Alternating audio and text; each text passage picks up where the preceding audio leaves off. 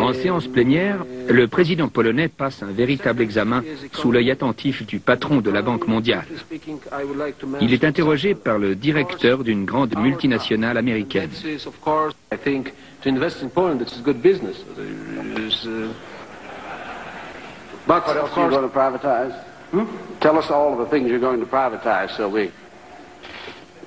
You're going to privatize the telecommunications. What's next? Well, that's, that's difficult to say. I said 68, 67, 68% of GDP is coming from private sector.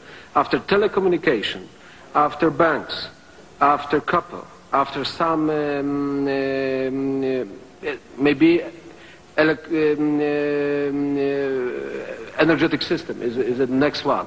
But then is that's all, you know. When we will privatize 100% of economy, what, can priva- what we can privatize is more.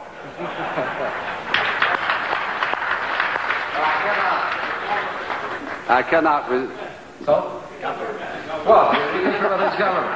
Well, I know, s- I know some ministers, they are ready to privatize government uh, now. But we should be very careful. the World Economic Forum knows no limit, apparently, but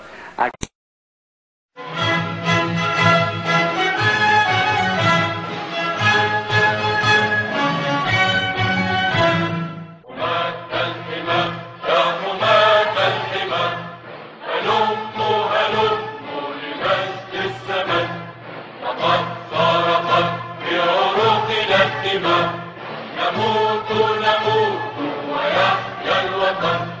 بلا تحكمي واملكي واسعدي. فلا عاش من لم يعز سيدا بحر دمي وبما في يدي. أنا لبلادي وحزبي فداء لك المجد يا تونس فاستمجدي